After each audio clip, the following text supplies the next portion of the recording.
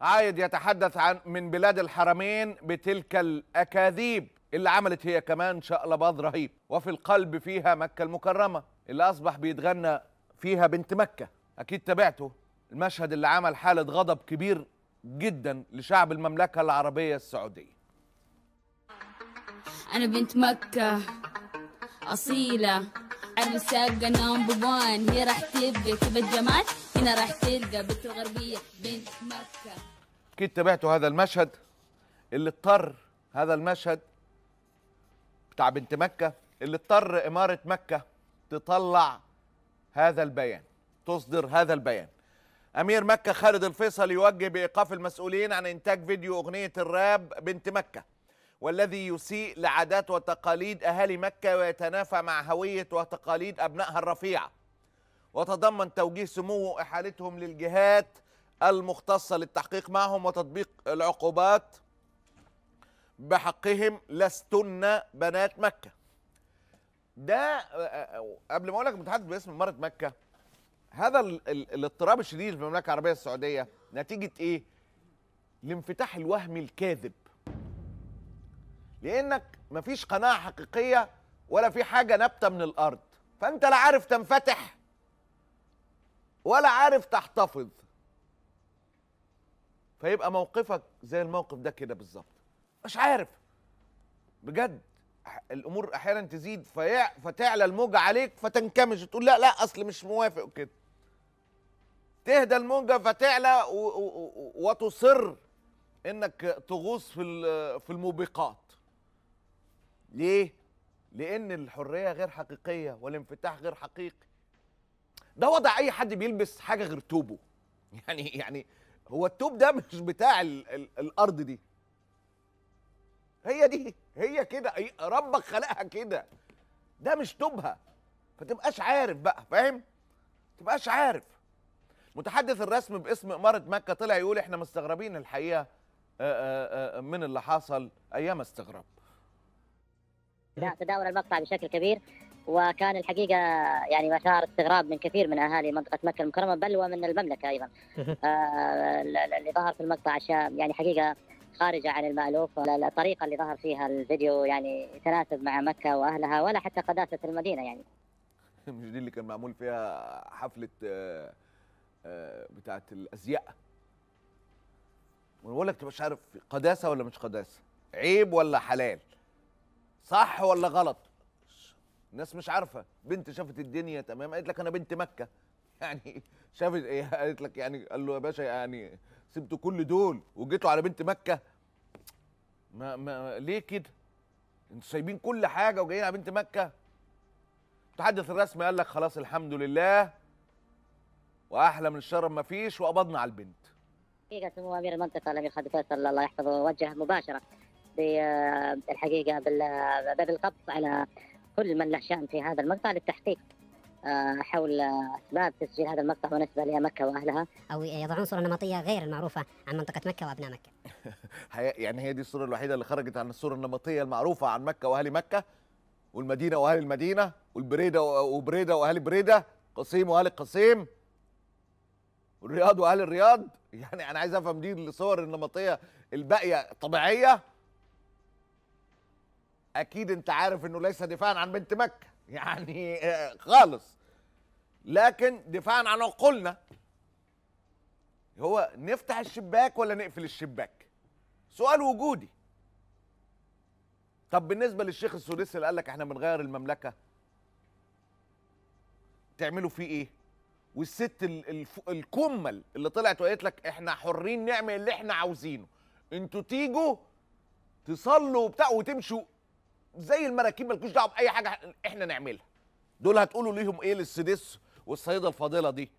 من ولاة أمر هذه البلاد المباركة يشاد بكل الإعزاز والإجلال بوثيقة مكة المكرمة الصادرة عن هيئة علماء المسلمين. التابعة لرابطة العالم الإسلامي وما اشتملت عليه من توصيات نافعة في تجديد الخطاب الديني وأثره الحضاري والعالمي والإنساني من خلال الدعوة للحوار والتواصل الحضاري ومواجهة أفكار التطرف والكراهية ونشر الفكر الوسطي المعتدل. بلدنا ذي ما حد يتدخل فيها. تتدخلون وتدخلون في الصغيرة والكبيرة هذه بلد الحرمين. ليه؟ إن شاء الله أنتم بس مفتكرين إن آه شو يسمونه إن ال- ال- المملكة إن المملكة العربية السعودية مسيد زين ولا ال سعود رسل. عشان أنتم كنتوا تفرضون علينا الدين؟ سووا تسوون وما تسوون. ما لكم شغل. أنتم بس تجون تأدون فرائضكم فرائضكم الدينية. فقط. ما لكم شغل. لو إن نفتح نفتح بارات في مكة وفي المدينة. مو شغلكم. أوكي. قدام روح شؤون الدولة من داخل. إحنا احرار إحنا إن شاء الله الدولة تفتح بارات. عفوا تفتح بارات تفتح بارات في مكة. شفتوا مكة؟ لو تفتح الدولة بارات في مكة. برا مكة. يعني البنت ال- ال- الصغيرة دي دي ضحية أفعالكم. ضحية أفعالكم. بقى عندها انفصام في الشخصية. فافتكرت الموجة كده قالت لك أنا بنت مكة. زي ما العيال عندنا في الحضانات دلوقتي بيغنوا خمور وحشيش بتاعت العيال آه، أغنية بنت الجيران ولا بنت اللي معرفش. كده يعني. يعني العيال بيجي لها انفصام هي بتمشي ودي عيلة. عيلة. ليس دفاعا عنها ولكن دفاعا عن الحق. والله العظيم عيلة. بنت مكة دي عيلة. عايزين تحاسبوا حاسبوا حاسبوا اللي عمل الليل.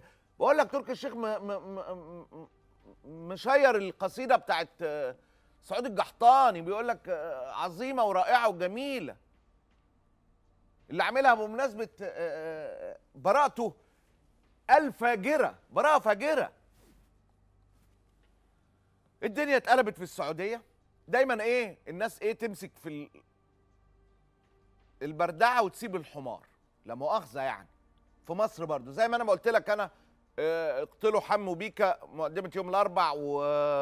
وشاكوش والمهرجانات أو اطرحوهم ارضا يخلو لكم وجه مصر أو وجه جرحي أنا هاني شاكر آه، مش هتفرق كتير اللي هو الناس يا سلام لو الناس عملت عشر ع- ع- عشرة في المية من الهبة اللي بتعملها دي على الحاجات دي على الحريات والديمقراطية ما كانش وضعنا بقى عامل كده الناس بتيجي في الحتة الآمنة وتطلع غضبها كله وليس دفاعا عن المهرجانات وحموكة وبيكا وبتاع. لا. إنه الناس بس إيه تحب تلعب في الأمان. إن ده يخرجها من ده الحاكم مش هيقول عليه حاجة واللقطة دي بتحبها الدولة بتعملها فالناس بدل ما توجه غضبها لما يحصل موقف بنت مكة توجه غضبها ل إيه بتاع الانفتاح. المنفتحين ابن سلمان وتركي اللي واخدين راية الانفتاح.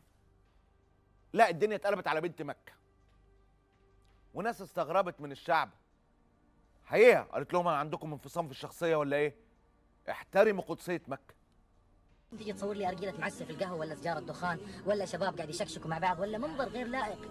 يا أخي أنت قاعد تصور بفلتر مكة يا أخي احترم مكة احترم هذه البقعة الطاهرة يا أخي أكرمنا الله بالسكن بمكة. لازم نسكنها كما ينبغي ونعظمها. والله يا حكومتنا اللي فيها أنفصام. ما تدري وش تبي. يا إن فيها انفصام يا إن عندنا حكومتين. شوف لك حل عاد.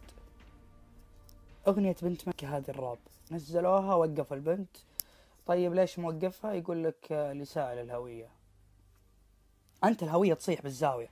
الهوية تصيح بالزاوية. تقول لك الهوية بنفسها هي تقول لك. تقول لك البنت ما تدري والله إنها مسكينة. قسما بآيات الله والله إنها مسكينة. ما تدري إيش السالفة. شافت الناس فلوا أمها قالت بفلها يا أخي.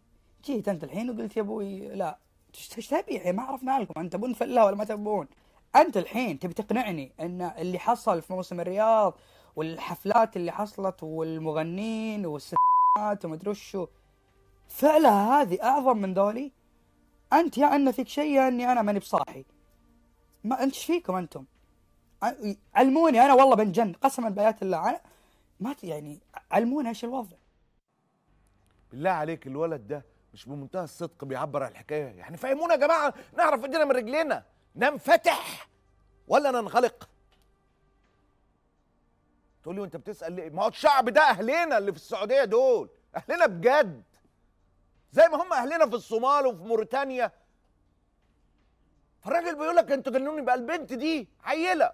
أنا أول مرة أشوفه والله الولد ده. بس ربنا يحفظه ويسلم لسانه ويجعل كلماته في ميزان حسناته. فهمونا. نحاسب البنت.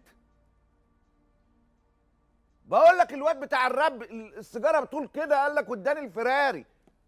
ودخلت بالمخدرات بعد ما عملت عليه رجالة. يعني أهو! أهو! ولا تقول لي بقى بص. وبيسخر منكم ويسخر من أميركم ويسخر من برنسسكم بر... البرنسيسات بتاعتكم وبيسخر من أصحاب المعالي. وعاملكم مسخرة الأمم. جايين على البنت مكة. قيموا عليها الحد. جماعة نرجع نأصل للموضوع نجيب أصله. نجيب لصاحب الفتوى إن ده حلال. إمام الحرم قال لك الانفتاح أنا مع الانفتاح اللي عامله سيدي وابن سيدي. نحاسب إمام الحرم. مش نحاسب سيده. أنا ما قلتش أنا آسف. أنا بتكلم نحاسب إمام الحرم. محدش هيقرب من سيده دلوقتي إلى أن يقضي الله امرا كان مفعول. ايفانكا قصدي كوشنر جوزها حمين فأنت نحاسب إمام الحرم طيب ولا نحاسب بنت مكة. العيلة بنت امبارح يعني البت دي عندها كام سنة؟ 15 16 17 نشيلها. أخطاء السعودية؟